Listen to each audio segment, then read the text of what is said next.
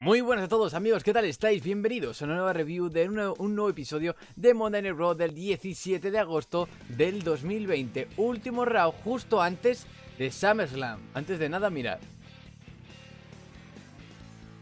Pacherito, ¿eh? Nuevo pijamita de, Looney Tunes, ¿eh? Comienza Monday Night Raw con una recapitulación un poquito de lo que ocurrió con Drew McIntyre, Rick Flair y Randy Orton la semana pasada cuando Randy Orton venció a Kevin Owens y después atacó a Rick Flair pues haciendo del asesino de leyendas, acabando con una más. Y es el propio Drew McIntyre quien da comienzo al show y bueno, pues vuelve a recordar todo esto lo que ha ocurrido la semana pasada y dice que al fin y al cabo en SummerSlam no se enfrenta a un viejo de 71 años como era Rick Flair, se enfrenta a un gigante escocés que le va a patear la cara y justo cuando va a terminar las frases, Retribution hace su primera aparición y única de la noche en bastidores, eh, pues destrozando todo pues en la Gorina Position y sobre todo pues en el cuadro de cámaras y demás. Algo que ya os dije la semana pasada y es que Retribution en Raw no entran al ring ni nada por el estilo, siempre montan desperfectos por fuera. En cambio, en SmackDown sí que lo hacen por dentro, así que todo parece indicar que van a pertenecer a la marca azul. Y aparece Drew McIntyre en backstage después de un pequeño corte de comerciales, declarándose no como líder del vestuario, como ya vimos la semana pasada en SmackDown, algo parecido con Biggie, Baron Corbin, eh, The Miz, Morrison, etcétera, etcétera. En este caso, Drew McIntyre se echa la marca roja a la espalda y es Seth que viene a discrepar y dice, ey, ey, ey, si alguien tiene que liderar, pues soy yo.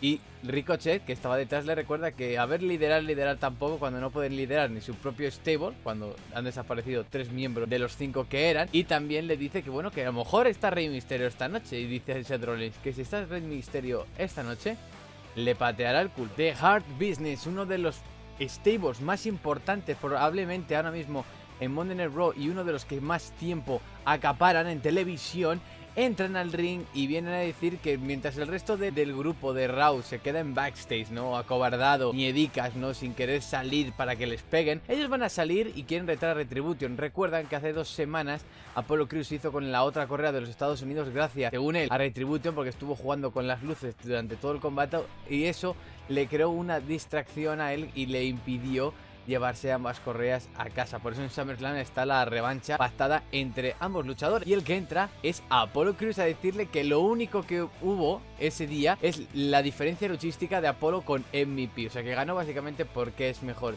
Y MVP, pues bueno, le, da a entender que le va a quitar el campeonato en SummerSlam. Y Apolo Cruz dice, ¿quieres marcha esta noche? ¿Queréis marcha? Vamos a tener marcha. ¿Por qué no un combate entre Seton Benjamin y yo a esta noche, justo ahora? Y si gano, Shelton Benjamin y Bobby Lashley podrán estar en, ringside, alrededor del ring, durante la batalla por el campeonato de los Estados Unidos. Y estos aceptan. El combate se desarrolla normal, algo parecido a lo que vimos la semana pasada y semanas antes entre Apollo Crews y Seldon Benjamin. Seldon Benjamin es un gran performer, Apollo Crews también, los dos son muy ágiles y por eso importan siempre un combate algo vistoso. Al final del combate, Arthur y Akira Tosawa empiezan a, correr uno detrás del otro. Recordamos que Arthur la semana pasada le quitó el campeonato a Akira Tosawa 24-7, como ya hizo el propio Akira Tosawa sobre Seldon Benjamin en una triple amenaza la semana anterior a esa y entonces aprovechando esa distracción Apollo Crews con un Fisherman Pin sorprende y se lleva la victoria sobre Shelton Benjamin. Nueva victoria para Apollo Crews que está en un estado de forma increíble y tras el combate Bobby y MVP entran en el ring pues muy enfadados y Shelton Benjamin conecta el pay contra Akira Otosawa que estaba, perdón, contra Arthur que estaba fuera del ring, la realiza la cuenta 1-2-3 y Shelton Benjamin es de nuevo campeón 24-7. En el ring MVP desafía a Apollo en un combate 3 contra 3 esa misma noche que se busque dos compañeros porque MVP Bobby Lashley y Shelton Benjamin le reta a un combate esa noche a eliminación, rollo Survivor Series. Pequeño segmento entre esta chica rubia que está apareciendo durante las últimas semanas, que debe ser de alguna serie o algo así por el estilo, y Ángel Garza, pues que nuevo está ligando con ella, cuando Ivar de The Viking Raiders entra para, pues bueno, cortarle un poco el rollo. Parece ser que a esta chica le gustan los hombres grandotes con barba y, con coleta. No le gusta tanto Ángel Garza, que es un poquilín más delgado. Bueno, son diferentes tipos de cuerpo, ¿no? Al fin y al cabo parece ser que le gusta más a Ibar. Ángel Garza como que se pica un poquillo y dice a Ibar, mira, esta chisma de pollo, de, pavo, lo que sea, que le regala a la chica, al menos no está envenenada por ti. Y Ángel Garza se siente muy ofendido porque él no hace nada de eso. Y le reta un combate más adelante tirando el pavo y nos vamos directos al ring de Monday porque ese combate es justo el siguiente. Ángel Garza e Ibar tienen un combate bastante interesante en el que, bueno, pues se muestra la fuerza de uno, acompañado de su compañero eh, Eric, y en el caso de Ángel Garza, acompañado de Andrade y Celina, pues como siempre, ¿no? Se muestran la fuerza de Ibar, la agilidad, la mayoría al light cheat steel, ¿no? Como hacía Eddie Guerrero de Ángel Garza. También es cierto que cada vez que sale un luchador mexicano, latino así, con un físico parecido a Eddie Guerrero, todo el mundo, el nuevo Eddie Guerrero, aunque su estilo de lucha no tenga nada que ver.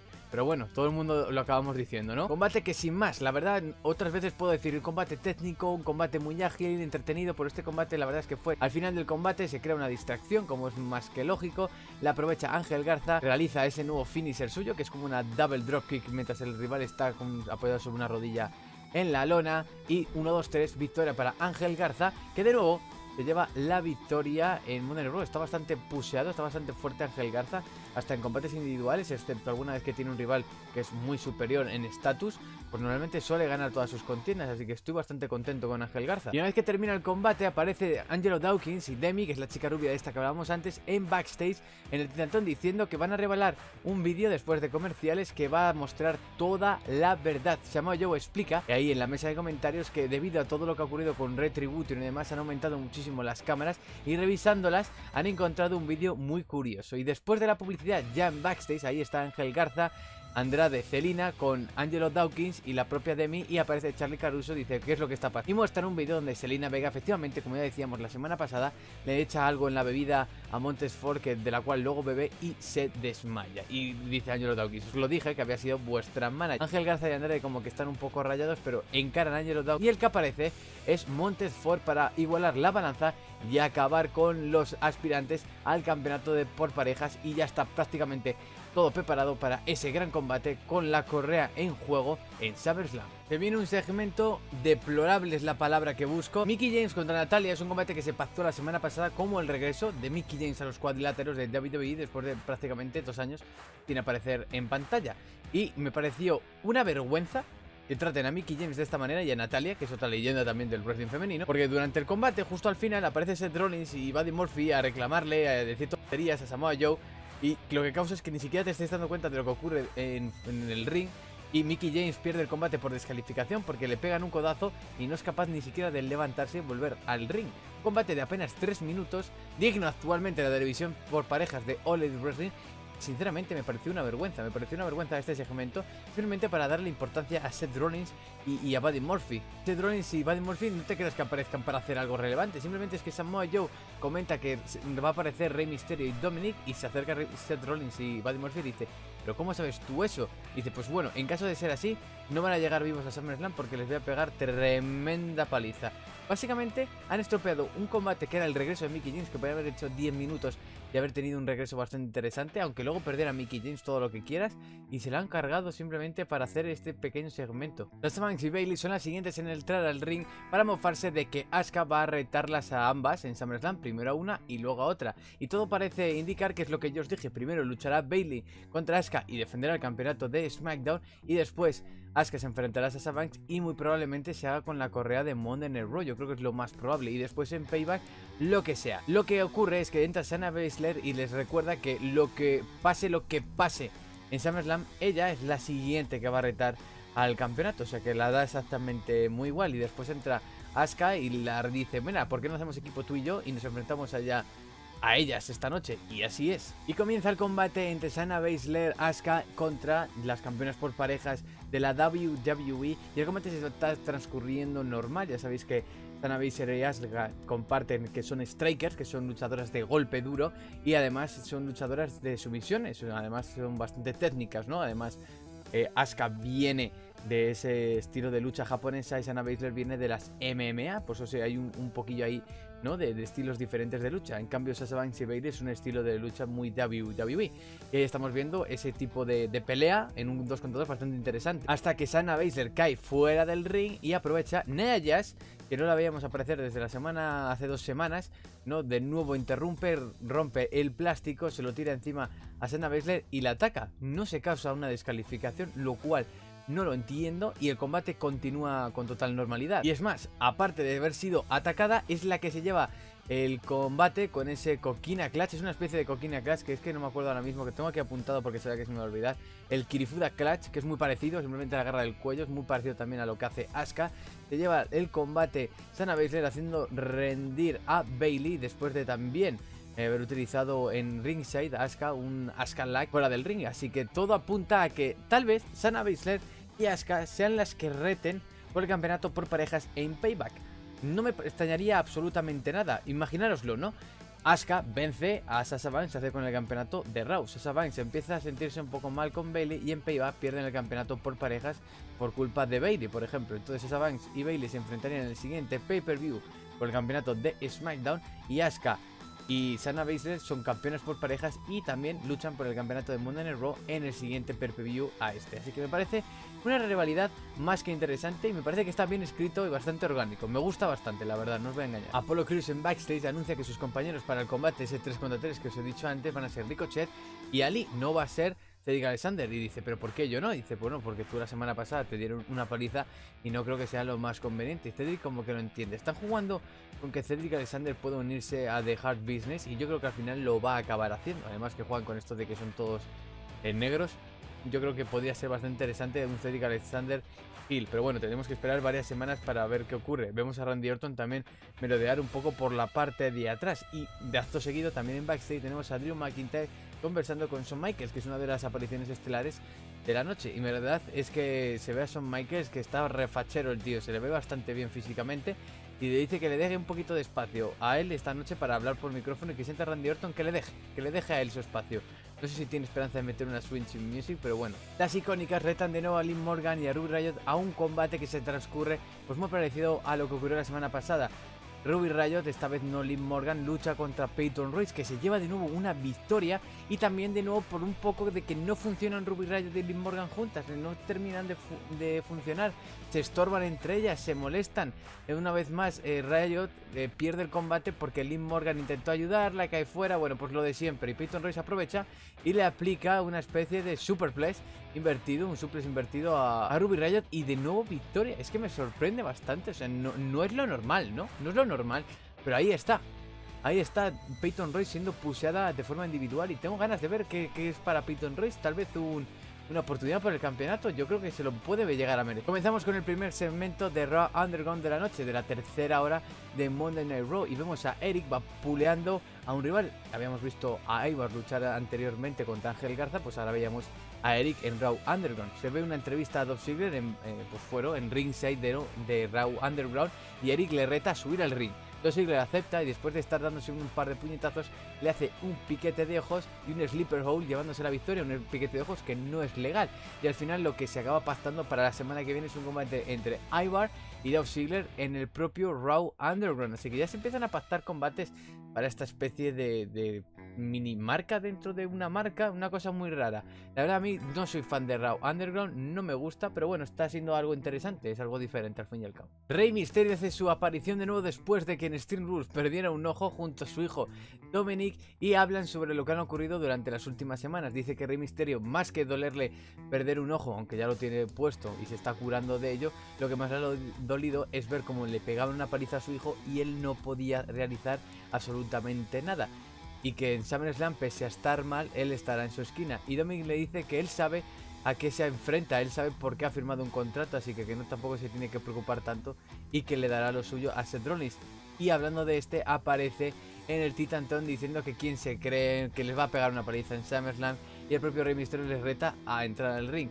Y es ahí cuando ya están entrando al ring que se salen rápidamente Rey Mysterio y Dominic, Dominic ah, malherido, como que le duele mucho todo, se aprovechan un poco de ellos Seth Rollins y se distraen apuntando solo a Rey Mysterio que físicamente está mejor y es Dominic que por la espalda entra con un palo de Kendo y empieza a atacar a Rollins devolviéndole el ataque de la semana pasada. Le da otro palo de Kendo a Rey Mysterio y entre ambos luchadores destrozan tanto a Seth como a Buddy Murphy dando por finalizado el segmento y último careo de estos dos luchadores justo antes de SummerSlam y en el debut más anticipado para mí de la década, el debut de Dominic Mysterio. Y vamos con el combate 3 contra 3, el equipo de Apolo contra el equipo de MVP. Y nada más comenzar el combate, Ali es eliminado por Bobby Lashley. O sea, me estás vacilando. Ali.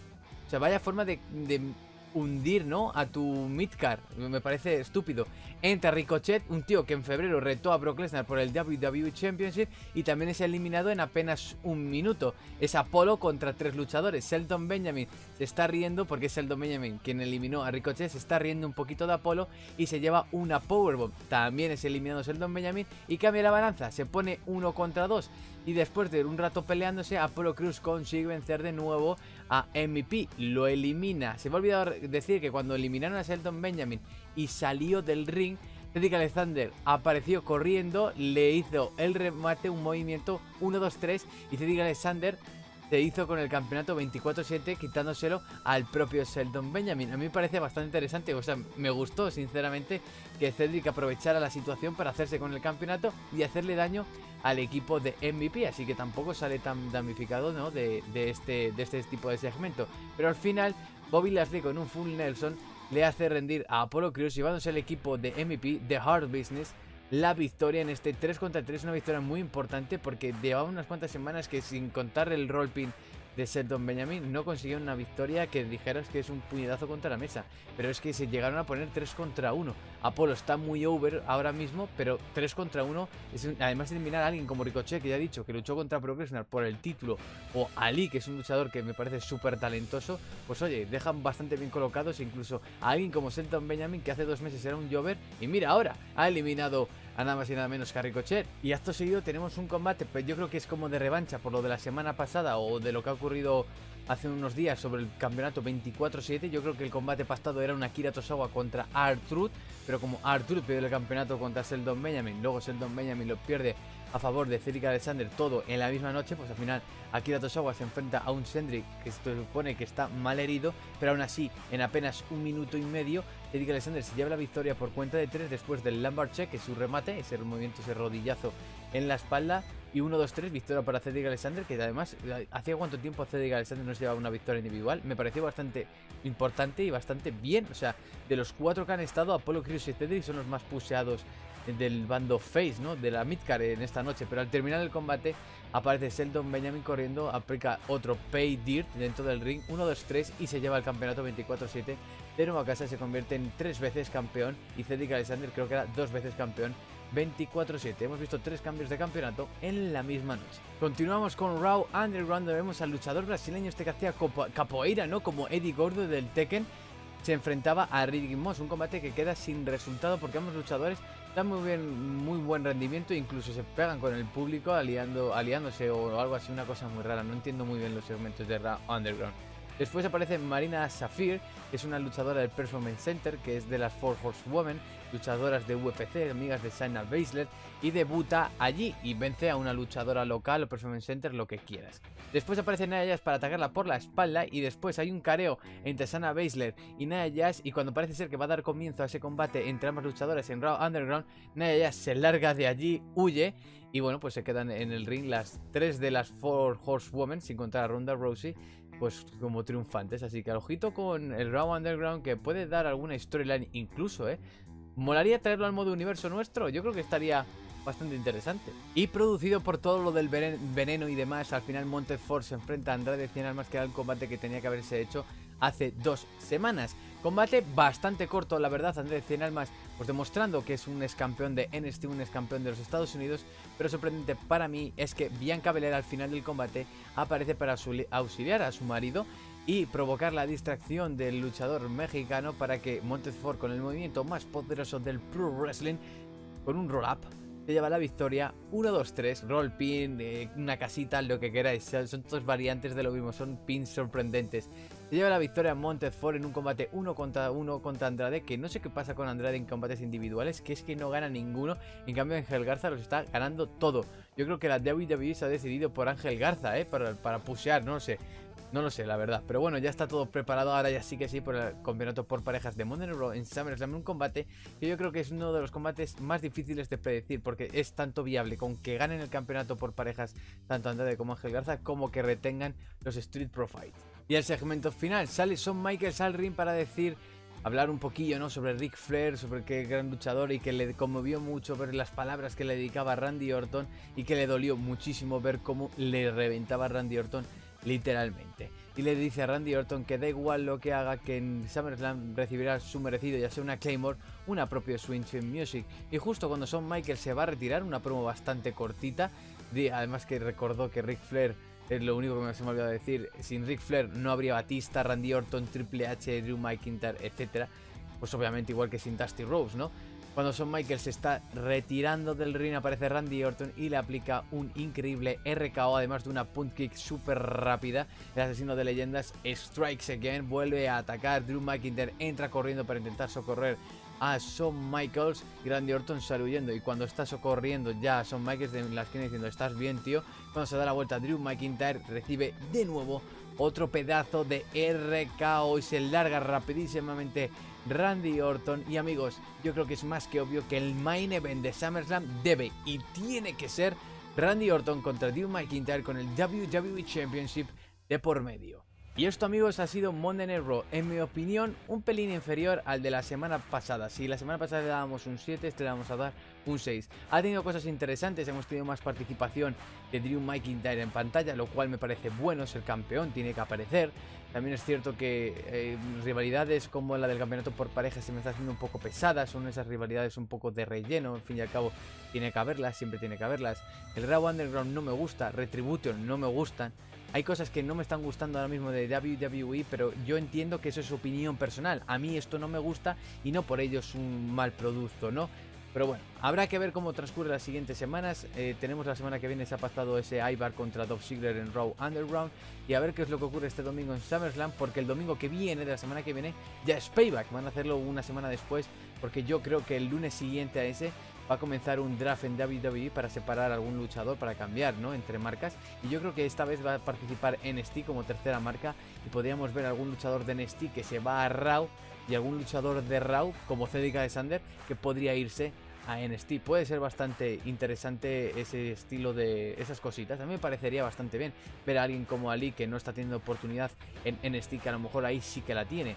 Habría que verlo y habría que darle una vueltecita porque yo creo que puede ser interesante. Nada más amigos, yo me voy a despedir por hoy. Quiero recordaros antes de nada, como siempre, que tenéis aquí justo debajo en la descripción todos mis canales. Tenéis mi canal de videojuegos, tenéis mi canal friki y también tenéis mi canal de Twitch, donde hacemos directo prácticamente diario. De hecho, cuando estéis viendo este vídeo probablemente esté en Twitch jugando al False Guy y si no lo estoy es porque a lo mejor me ha dado mucha pereza, pero bueno, estamos haciendo directos prácticamente de forma diaria. Así que podéis suscribiros, haceros miembros en el canal, apoyar al canal de Mr. 7 Rayman para que siga habiendo contenido y suscribiros a mi canal de Twitch, donde prácticamente el, el 50% de la donación va para mí. En YouTube no tanto, pero bueno, siempre que todo apoyo siempre está bien recibido. También es el link de donaciones. Y nada más, nos veremos como siempre en el siguiente vídeo. Mañana tendremos probablemente dos simulaciones, una de NST con el campeonato de NST en juego y otra del campeonato TNT de All Elite Wrestling. Hasta la próxima chicos, adiós.